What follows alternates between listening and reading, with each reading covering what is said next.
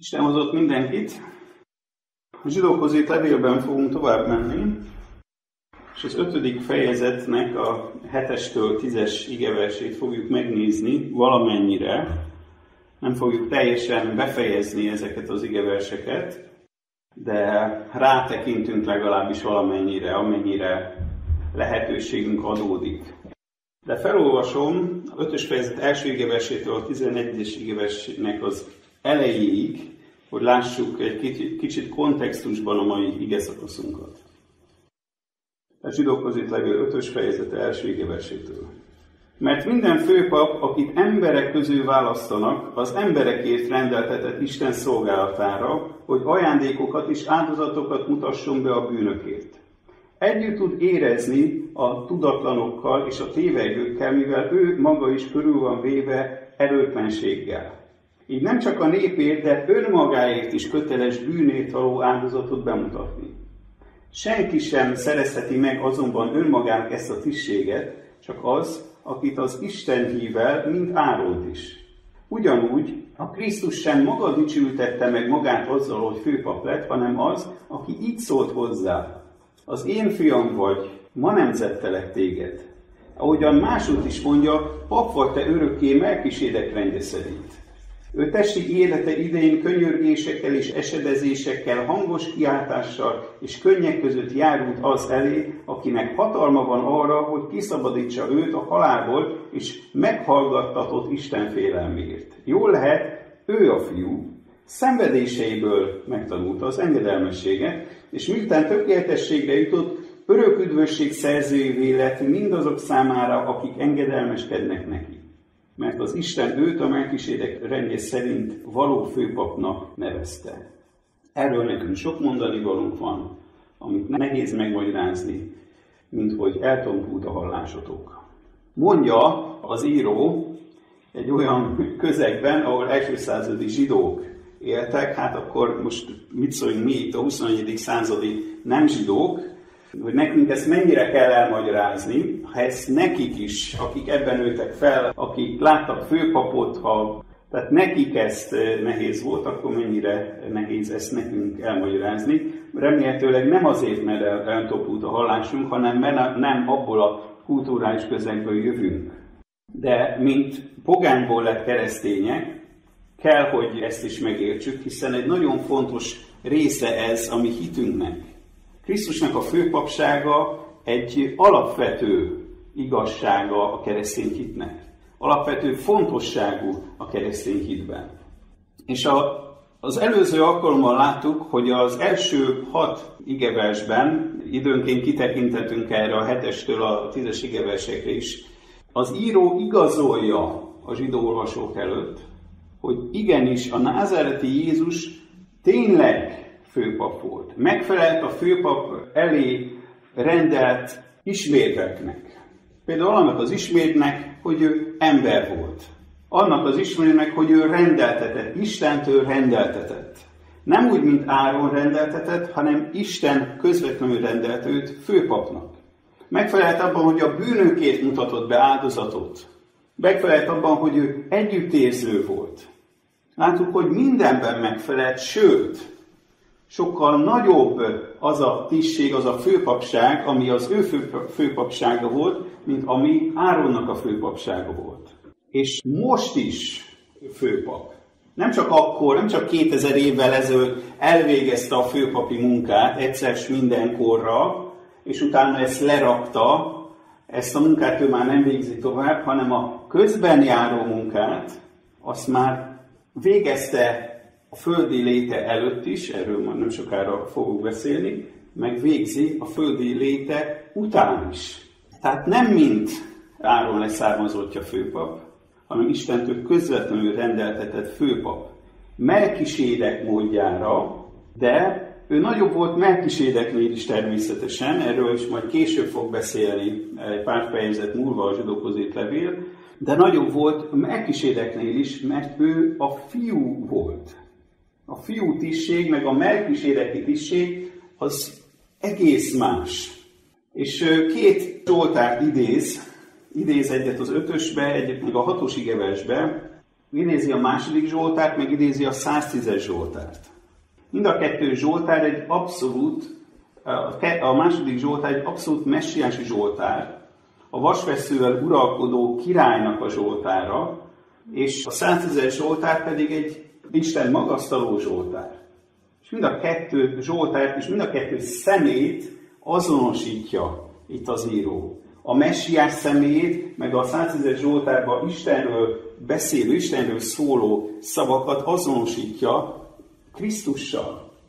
Azt mondja, hogy ő az. Ez a főpap, ez a messiási főpap, ez a főpap isteni főpap. Mennyei főpap. Igaz mennyei főpap. És továbbiakban róla is beszél, róla beszél a hetes igevestől a már felolvasott szakasz, hogy ő testi élete idején könyörgésekkel és esedezésekkel, hangos kiáltással és könnyek között járult az elé, akinek hatalma van arra, hogy kiszabadítsa őt a halálból, és meghallgattatott Isten félelmiért. Jól lehet, hogy a fiú szenvedéségből megtanulta az engedelmességet. És miután tökéletességre jutott, örök üdvösség szerzője lett mindazok számára, akik engedelmeskednek neki mert az Isten őt a Melkisédek rendje szerint való főpapnak nevezte. Miről beszél itt? Itt a mennyi főpapunk hatalmas tetteiről beszél. És e tettei, amiket itt a Földön véghez vitt Krisztus, azok önmagában bizonyítják. Ha még nem is hangzik el Jézus Krisztusról, és a zsidókhoz levő beszéd egyedül említi meg egyedül azt, hogy ő főpap volt, de ha még ezt nem is tenné meg, még ha nem is állna rendelkezésünkre a zsidókhoz levél, csak ha valaki megnézi Jézus Krisztusnak az életét, az ő tetteit, az ő szolgálatát, akkor pontosan látja, hogy ez egy főpapi szolgálat. Ez egy abszolút főpapi szolgálat. A hetes igevers azt mondja, hogy testi élete idején. Így kezdődik. Testi élete idején. Miért mondja ezt? Ugye már hivatkoztam rá, mert hogy volt nem testi élete is, természetesen testi élet Isten, az inkarnálódott Istenről van szó, tehát természetesen nem csak a földi élete van, és onnantól számítatik az élet, hanem előtte is volt. Sőt, az inkarnáció előtt már, a teremtéstől kezdve ő már végzi a messiási tisztséget. Ő már akkor, már előtte Krisztus volt, Jézussá pedig a testi lételével lett. De már előtte a Krisztusi, azaz a messiási, azaz a felkenté közbenjárói, főpapi munkáját már végezte. Mert minden hívő az Ószövetségben egyébként Jézus Krisztus munkája miatt, az ő messiási munkája miatt jut be a mennybe. Nincs olyan, aki ne miatta jutna be a mennybe. Mert Jézus Krisztus nem az új szövetség megváltója. Nem az új szövetség megváltója. Ő megváltója, és ahogy itt majd látjuk ebbe az ige szakaszban, minden kornak. Minden kornak, minden nemzetnek, minden népnek. Mindenkor megváltó ő. Nem csak az új szövetség idén, az Ószövetségben lévő szentek, akikkel a mennybe fogunk találkozni, ők is Jézus Krisztus miatt vannak ott a mennyben. Nem más miatt, nem azért, mert ők olyan jók voltak, vagy, vagy az a kevesebb tudás miatt, azt a pici eh, kevesebb tudást azt tudták alkalmazni, és ezért valahogy a teljesítményükkel, valahogyan a, a tetteikkel megváltották önmagukat. Krisztus engedelmessége miatt vannak ott az ószövetségiek, és lesznek ott, leszünk ott mi, és az elkövetkező nemzedékek csak miatta leszünk ott. Éppen ezért mondja itt azt, hogy Krisztus mely szolgálatára gondol éppen, mely szolgálatával foglalkozik. Mert hogy más korábban, meg későbbi szolgálata is van Krisztusnak. De most ő ezzel akar foglalkozni, a, Földön eltöltött ide, a ideje alatti szolgálattal akar itt foglalkozni, arra hivatkozik. És mit tett? Mit látunk, mit látunk itt, mit tett? Tehát azt látjuk, hogy ő könyörgött. Ugye azt mondja itt, hogy testi élete idén könyörgésekkel és esedezésekkel volt. Könyörgött. Az eredeti görögben, hogyha valaki megnézi, ott az van benne, hogy itt valamilyen konkrét szükségért jár közbe valaki. Tehát ebben benne van az, hogy konkrét szüksége van valakinek, és a konkrét szükségét megnevezi. És azért közben jár, azért esedezik, azért imádkozik. Hol látjuk ezt Jézus Krisztus szolgálatában? Akár például gondolhatunk egy nagyon egyszerű esetre, amikor megvendégelte az 5000 embert, esedezett, kérte, hogy hadd tudjanak enni ezek az emberek. A lelküket táplálta, azt kérte, hogy ezzel a pár kenyérrel, hallal a testüket is tudja táplálni. És megetetett 5000 ember, és itt ugye a férfiak száma van, és még a, a hölgyek, meg a gyerekek, ugye a gyerektől kapták a, a halat is, meg kenyeret is, tehát volt, volt ott még rengeteg ember. De amikor Jézus elvonult imádkozni, akkor biztosak lehetünk benne, hogy mindig közben járt. Hiszen ez a valamilyen szükséget konkrétan kézni, ez valamilyen közben járó ö, imádság, ami, ami szó van a, a könyörgés szó mögött. Például a beteget, betegek gyógyításáért imádkozott. Vagy éppen amikor az ördögűzés, vagy démonokat űzött ki, akkor azokat az imáit is ide lehet venni. Vagy a Lukács 22-ben.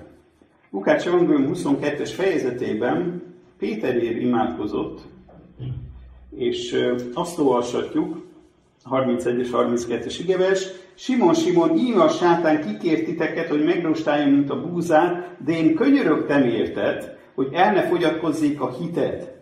Azért, ha majd megtérsz, erősíts atyát félét. Ugye konkrétan azért könyörgött, az volt a célja a, ennek a könyörgésnek, hogy el ne fogyatkozzék Péter hite.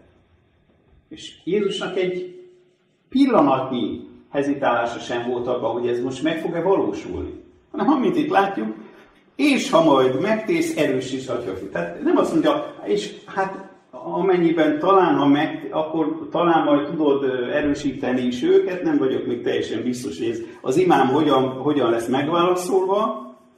Nem, ő teljesen, csöpnyi kétes sem volt benne, hogy ez úgy is lesz. De nem csak Péterért könyörgött Krisztus, nem csak érte járt közben, hanem értünk is hasonló hatékonysággal, vagy ugyanolyan hatékonysággal, mint ahogyan Péterért közben járt. A romaiak közé levél 8-as fejezetében, 8-as fejezetének 34-es versében azt látjuk, hogy kiítélnek árhozatra a meghalt, sőt feltámadt Jézus Krisztus, aki az Isten jobbjában, jobbjában is esedezik, is értünk. Itt azt mondja Pál, hogy most, jelen pillanatban Krisztus esedezik, értünk. Nem szűnik meg ez a közben járó munkája Krisztusnak. Nem szűnik meg az, amit itt tett a Földön, hanem ugyanúgy, ahol Péterért könyörgött, értünk is könyörög. És ugyanúgy, ugyanilyen hatékonysággal könyörög értünk, mint amilyen hatékonysággal Péterért is könyörgött. És ezt már láttuk egyébként az úgymond főpapi imájában, amit a középkorban neveztek egyébként főpapi imának, ez a János 17-ben lévő ige szakasz. János 17-ben a 20-astól 24-es igeversek is, de nem értük könyörgök csupán, ugye, a apostolok, akik ott voltak, ez a felházban a utolsó vacsora idején, utolsó estéjük. Tehát nem csak értük könyörgök csupán, hanem azokért is, akik az ő szavukra hisznek én bennem, és ennek a sorban vagyunk mi is, mint hogy minnyáján egyek legyenek úgy, ahogyan te, atyám, én bennem, és én te benned, hogy ők is bennünk legyenek, hogy elhiggye a világ, hogy te küldtél el engem.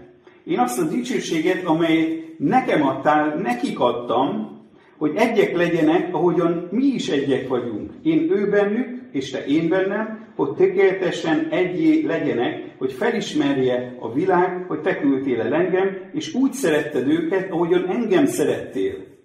Atyám, azt akarom, hogy akiket nekem adtál, azok is ott legyenek velem, ahol én vagyok, hogy lássák az én dicsőségemet, amelyet nekem adtál, mert szerettél engem már a világ, már a világ kezete előtt. Tehát értünk, könyörök ezekben a versekben. Ott, a halála, az elfogása előtt. Értünk, könyörök. És azóta is, ahogy a Róma, Rómában láttuk, értünk könyörög, értünk esedezik. És enélkül az egység nélkül, amit itt a, a, ebbe a főpap imában látunk itt a János 17-ben, nem tehetnénk semmit sem. Bár, bárhogyan imádkozhatnánk, bármit, bárhogyan, bármilyen erősen akarhatnánk tenni, és tennénk is, semmi értelme nem lenne. Egyedül Krisztusban van értelme bárminek is. Következő szó, amit itt látunk, az az esedezés. Az esedezés. Ez egyedül itt szerepel a görögben. Tehát a, ez a szó, ez a görög szó, a Bibliában egyedül itt szerepel. Ez egy olyan szó, amikor valaki egy olajággal jelenik meg valahol, és könyörög. Mint egy a békét akarja megszerezni. Békét kér. Megbékélést próbál kérni. Közben jár egy olajágat, vagy, vagy olajat, olajbogyókat, a béke jelét tartva a kezében. Tehát ezt úgyis a mai, ma, mai képre lefordítva egy fehér zászlóval megy oda, és könyörög, esedezik, hogy, hogy legyen béke, ne legyen háború. És Krisztusnak ez is tökéletesen sikerült. Ahogy a Korintusokhoz írt második levélben, annak az ötödik fejezetében, ezt látjuk, 18-astól 20-as, 21-es igéversében, mindez pedig Istentől van, aki megbékéltetett minket önmagával Krisztus által, és nekünk adta a békéltetés szolgálatát. Isten ugyanis Krisztusban megbékéltette a világot önmagával, úgyhogy nem tulajdonította, nem tulajdonította védkei, nekik védkeiket, és ránk bízta a békéltetés igéjét. Tehát Krisztusért járva a követségben, mintha Isten kérne általunk, Krisztusért kérünk, béküljetek meg az Istennel. Mert azt, aki nem ismer bűn, bűnné értünk, hogy mi Isten igazsága legyünk ő benne. A megbékéltetésről, a megbékéltetés Krisztus szerezte meg, ezért is közben járt. Krisztus nélkül nem lenne semmi ért. Krisztus nélkül a, a bűn után, a bűneset után az egész teremtés el lett volna törölve. Ha Krisztus nincs, ha nincs a megváltás előre eltervezve, akkor onnantól kezdve vége lett volna minden, mert Isten meg a bűn nem férhet meg egymás mellett. Azért tudjuk azt mondani, hogy kegyelem, hogy még tart ez a mai korszak, ez a mai idő, amit mi ismerünk, mert hogy Krisztus azt kéri, hogy legyenek még emberek, hogy még legyen idő, hogy az a, az a nép, akiért ő vállalta, azok teljes számban be tudjanak menni. Legyen béke, és ezt a fajta Istennel való megbékéltetésnek a szolgálatát visszük mi is tovább, ahogyan mi is imádkozunk emberekért, emberek szükségeiért, konkrét imádkozásokkal, ugyanúgy ezt a szolgálatot is mi is végrehajtjuk. Nem olyan mértékben természetesen, illetve hát nem olyan hatékonysággal, mert Krisztus pontosan tudja, hogy mi mindig merőtök. Amikor földön akkor is tökéletesen egy volt az ő akarat Isten akaratával. Ami akaratunk, időnként nem egy Isten akaratával, de remélhetőleg akkor is erkölcsileg olyan az akaratunk, amit Isten elvár tőlünk. És ezután beszél, a magyar fordítás egy kicsit összevonja a könyörgéseket a sírással, meg a kiáltásokkal, de a görög eredeti szövegben itt más a sorrend. A görög eredeti szövegben itt van arról szó, hogy aki képes megszabadítani a haláltól. Aki képes a haláltól megszabadítani ő hozzá könyörgött. És itt természetesen nem a földi első halálról van szó, hiszen akkor azt mondhatnánk, hogy hát ahhoz könyörgött, aki képes megszabadítani a halálból, vagy kiszabadítani a haláltól, megszabadítani a haláltól, akkor lehet, hogy valaki azt mondja, hát ez nem sikerült, hiszen meghalt, meg mi is meghalunk, de itt természetesen az örök halál és a halálnak a fogvatartásáról van szó, és nem abból, hogy most akkor meghalunk-e vagy sem. De ez az imá is tökéletesen sikerült, meghallgattatott. És a többi, az azután következő szavak, ugye egy hangos kiáltással. Ha valakinek olyan fájdalma, olyan kínjai vannak, amikor szinte eltorzult, szinte állati hangokat ad ki. Olyan van itt a, a görög szóban, szinte állati hangokat ad ki valaki. Annyira gyötröldik, annyira nagy a, a gyötrelme. És a könnyek az egyszerűen könnyeket jelent. És itt a végső akár a Gecsemáné kertben lévő jelenetre gondolhatunk, hogy ott mit élt át Krisztus. De ott sem, a Gecsemáné kertben sem magáért könyörgött, hanem miértünk könyörgött. Mi miattunk könyörgött, miattunk izzadt, miattunk vérzett, miattunk küzdött, miattunk éhezett, szomjazott, fázott, miattunk csinálta vég ezt az egészet, miattunk. A Gecsemáné kertben is miattunk imádkozott. És meghallgatott, ahogy itt mondja, az Isten félelmért. És mit jelent az ember Isten, Isten ember, Jézus Krisztusnak, ugye Szent Háromság második személyének, az inkarnálódott Istennek az Isten félelme? Erre itt a nyolcas igevers. Mit jelent az Isten félelem? Jó lehető fiú szenvedéséből megtanulta az engedelmességet. Engedelmesség. Mi jellemző a világra és mindenkire, aki a világban él, az engedetlenség. Az első tett, amit az emberek tettek, a bűn tett, az is engedetlenség volt. Isten mondott valamit, az ember engedetlen volt. És ez azóta is tökéletes jellemzője az embereknek, az engedetlenség. Nem kell belenevelni egy csecsemőbe, hogy engedetlen legyen. Csecsemő az alapból engedetlen. Az ember az alapból engedetlen. Azt kell megtanulnia, hogy engedelmes legyen. És a második fejezet tízes igeverse kapcsán már beszéltem róla, mert ott is félreérthető ez a fajta kifejezés. Ami azt mondja ott, hogy mert méltó volt Istenhez, akiért van a mindenség, és aki által van a mindenség, hogy őt, aki számtalan fiát vezeti dicsőségre, üdvösségünk fejdelmét, szenvedések által tegye tökéletessé.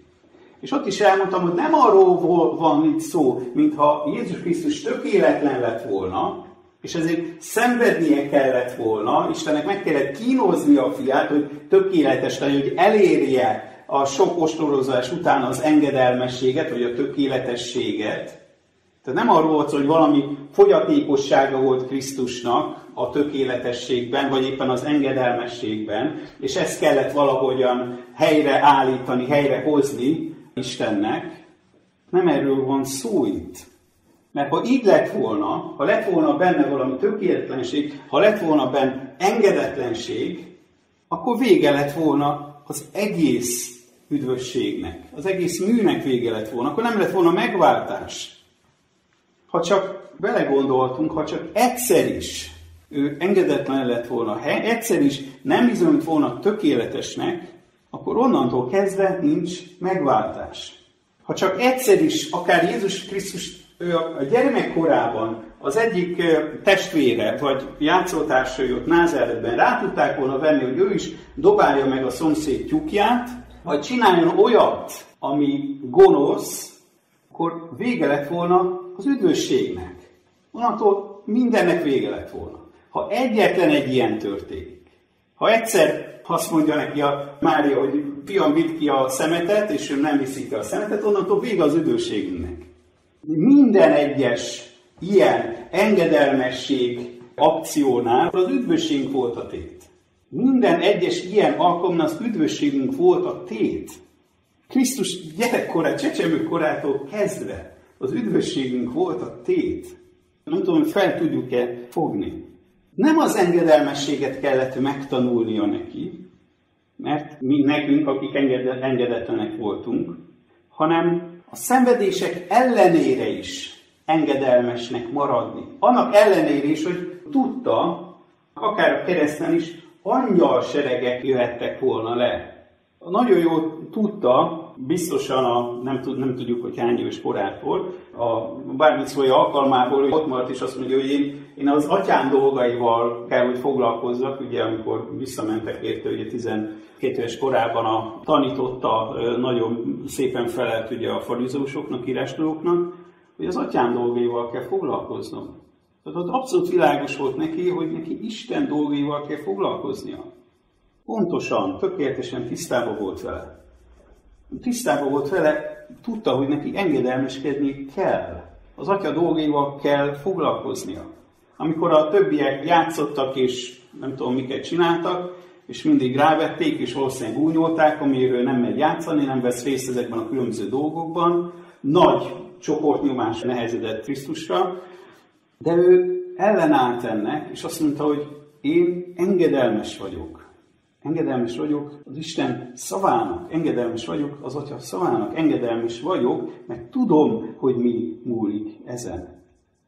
9-es igeversben ismét van egy megtévesztő fordítás, vagy értelmezés.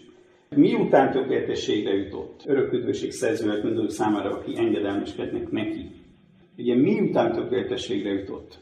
A görögben megint csak miután elérte végcélját. Tehát nem tökéletességre jutott, hanem elérte azt, amiért jött. Ez ugye a tökéletességre jutott megint csak azt jelenti, hogy eddig nem volt tökéletes. Ez nem igaz, hanem itt a végcél eléréséről van szó. Elérte azt az engedelmessége következtében, annak a sorában, elérte a végcélhoz, a végső engedelmességhez, a kereszthez. Elérte a végcélját, teljesült az ő munkája, teljesült az óra, megtörtént az óra, amiért ő jött, amiért ő emlegetett az evangéliumban, főleg a János evangéliumban látjuk, hogy még nem jött el az én órám. És utána azt mondja, hogy íme, eljött az én órám. Most van az. Most történik meg a dolog. Most hajtom végre ezt a tettet. Most történik meg igazán az, ami számomra a legnagyobb szenvedést jelenti. Az Istennel való kapcsolat, ami az örök kapcsolatnak a valamekkora időre való megszűnését, elszakadást Istentől. Tehát teljesítette testi küldetését, üdvösséget szerzett nekünk.